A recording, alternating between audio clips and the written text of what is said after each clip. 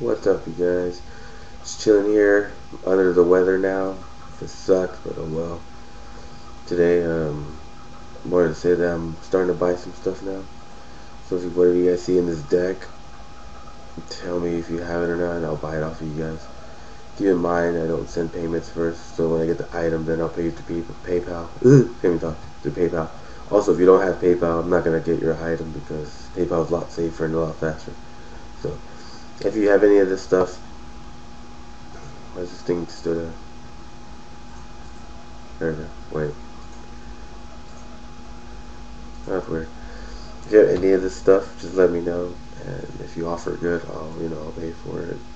Uh, obviously, like I said, I don't send first, but and also you have to have PayPal. So just let me know, guys. Hope you guys have a good one.